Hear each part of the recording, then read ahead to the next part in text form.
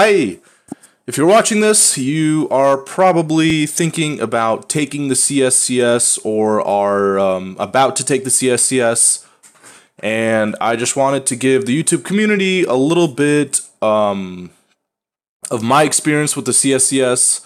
I passed this exam roughly, I want to say, uh, as of publishing this, it's February 9th, 2019. I passed it back in November on the 20th. Um, so it's it's been a um, little over a couple months now that I've um, been a holder of this um, title, and I just wanted to kind of talk about how I um, pretty much went about studying and passing this exam. So first thing you should do, number one, is obviously buy the text. The text is right here. It's the essentials of strength training and conditioning. I think as of this video, it's still in the fourth edition. Um, but if you're watching this and it's maybe been a year or two, they might have a new edition. Make sure you have the most recent edition. Again, as of this video, I think this is the most recent edition. Um, the first thing you want to do is read this entire book from cover to cover. So it's quite a bit. There is about 600 pages um, little over 600 pages. I think it's actually about 650 pages. Um, the information is pretty dense in this book. The CSCS is a very um, research based exam, and it's a very um, scientific exam. I mean, it was written by people that have doctorates, PhDs, um, physical therapists. So it was written by all these um, kinds of authors that have um, really hold really high degrees.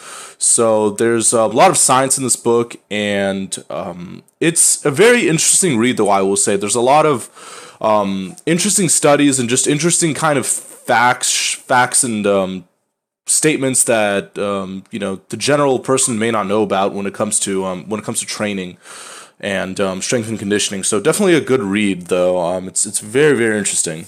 Um, so number one, you want to read this book from cover to cover.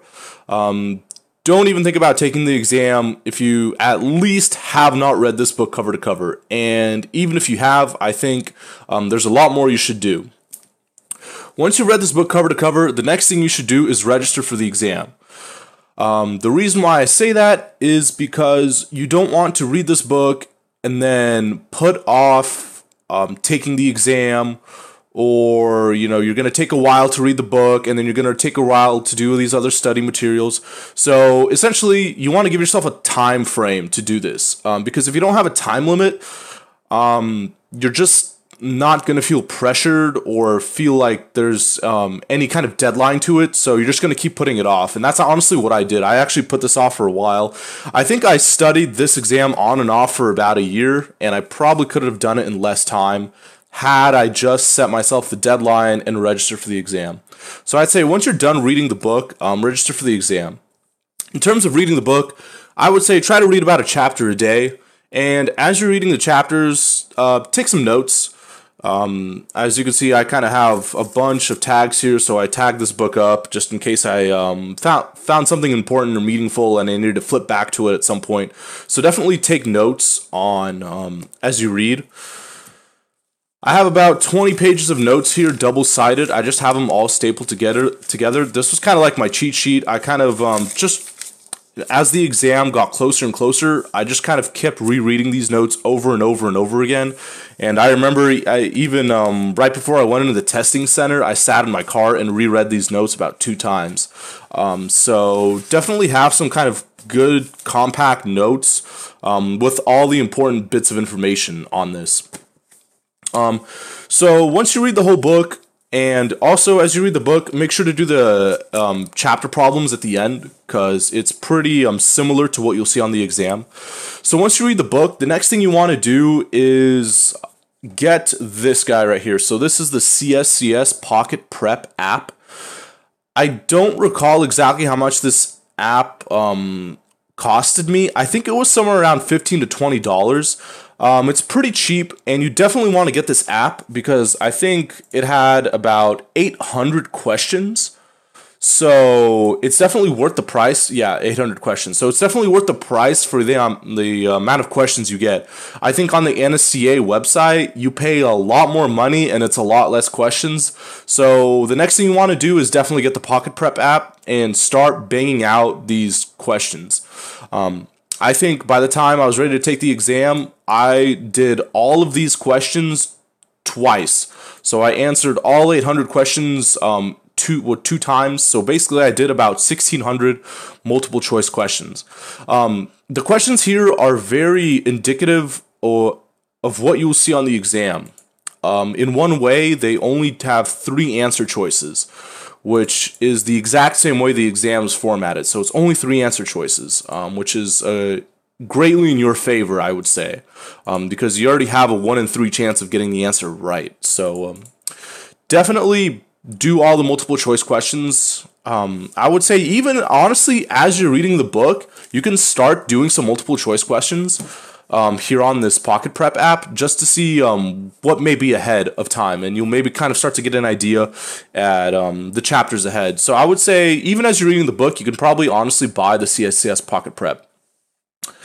Um, it's a mobile app, so you can do this either on the desktop, like I have pulled up here, or you can do it on your phone. Um, so what I did a lot was I would just, if I ever had any downtime, if I was ever waiting for something, if I ever, you know, had like five minutes to spare, um, if I was sitting on toilet or anything like that, I would just whip this out and start just chugging away at some questions, maybe do like a 10 point quiz, and then go about my day. So just kind of um, integrate this app throughout your day, um, just to just to keep testing yourself um, throughout the day. Once you read the book and once you answer all 800 of these practice questions, you should be at a pretty, um, I would say, good level in terms of knowledge of what's going to be on the exam. Um, I'm not saying you're guaranteed to pass, but I'm saying you should definitely be well aware of everything that's going to possibly be on the exam, and you should definitely be aware of like most most of the concepts and be familiar with most of the things that you may see on the exam. Um, so I guess once you're at this point, the next thing I would say to do is buy one more study material, and I'm definitely going to recommend um, this page right here. Um, it's just cscstestprep.com. Um, this is published by a guy here named Ryan Grella. I really recommend um, what this guy made here because he essentially made a very um, compact and precise guide for essentially the everything that's going to be on the CSCS.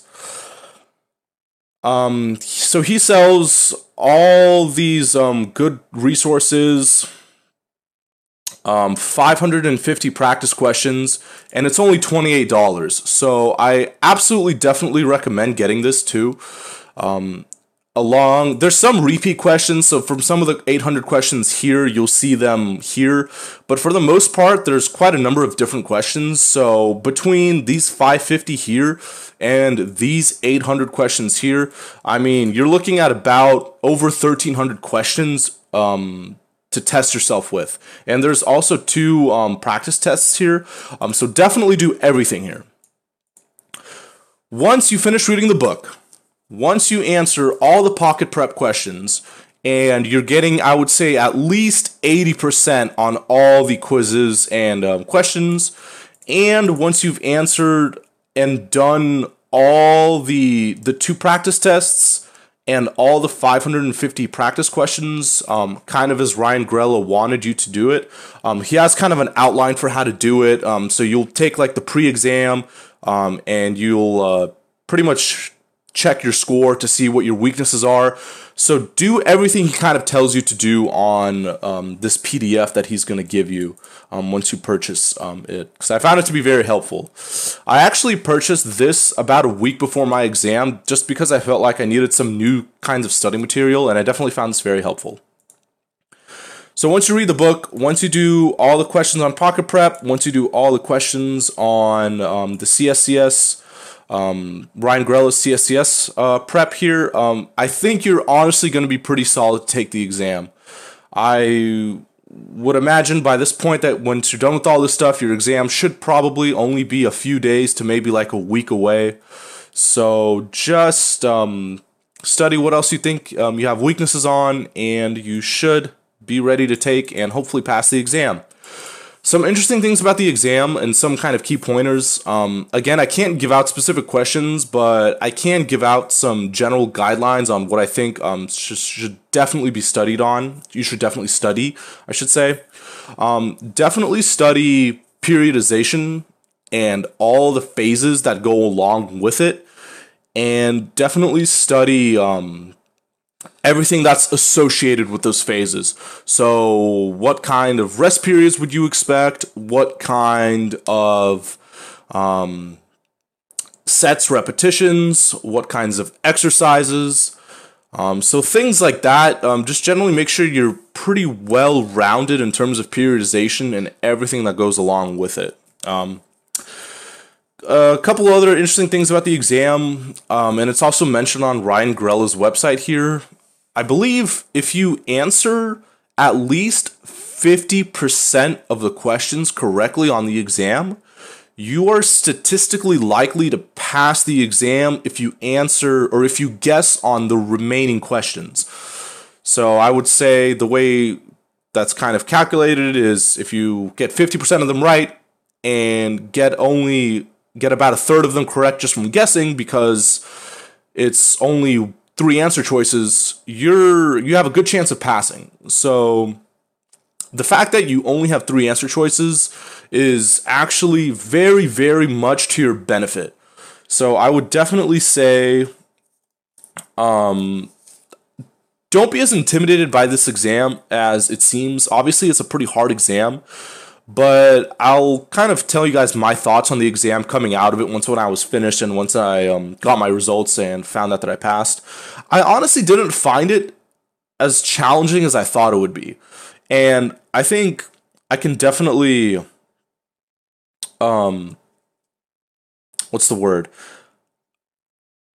I can definitely I'm like blinking on the word I'm trying to say. I would definitely say that is because of how much I studied. There was a better way I wanted to phrase that, but I didn't figure out how. Um, I basically overstudied. So if you, it's better to overstudy for this exam than to go in this exam um, just with enough. Um, you should definitely overstudy and just be sure you pass the first time. Um, if you don't pass the first time, it's not the end of the world. Um, the nice thing is, is if you fail one section and pass another section, you don't have to retake that other section that you passed. So it's not an all or nothing. Um, so that's what's really nice about it. So if you if you fail one section, um, you know exactly what to hone in on and exactly what you need to study. Um, I'll just kind of show you guys here. Um, once you take the exam, you're gonna get these two results sheets. Um, they will basically on the sheets show you how you did. Again, there's two sections on this. At this point, you should kind of know that. It's the scientific foundations and the practical applied. On the scientific foundations, there are 80 total possible questions. I happen to get 67 of them correct. And on the practical applied, there's 110 questions, and I got 98 correct. So I definitely passed by a good margin. I only needed to get um, uh, 84 correct answers, and I got 98 on the practical applied. On the scientific foundations, I got 67 answers correct, and I only needed to get 56 answers correct to pass. So I definitely passed this exam by a good margin, and I think I could definitely um, credit that to um, overstudying. That's the word I was looking for. Um, so once you pass the exam, hopefully you'll get one of these guys. This is the CSCS certificate. Um, you'll get this a bit later. I actually just got this in the mail today. So it takes a couple months for you to receive this, especially if you haven't sent in all the other things that are required. Um, and hopefully by the end of this video, you're already familiar with the fact that you do need to have a bachelor's um, degree to take this exam, to even just sit in this exam. Um, actually, you can sit in this exam. However, um, you will not be granted the title if you cannot prove um, that you hold a bachelor's. So just make sure you basically get your bachelor's done first, graduate, and then worry about this exam. Um, that's basically all I have to say. So that's my really main three study tools: the book, the Pocket Prep app, and Ryan Grella's um, website here. Um, do all those things, read the whole book, do all the questions, and um, you should really honestly be ready to take this exam. Uh, if you guys have any questions, um, please just uh, shoot me a comment, and I will be glad to answer all your questions. Um, thanks, guys, for watching and good luck on your exam and i hope you guys all pass if you are thinking about um, taking this exam or taking it soon. Um, good luck to you guys. Um, thanks for watching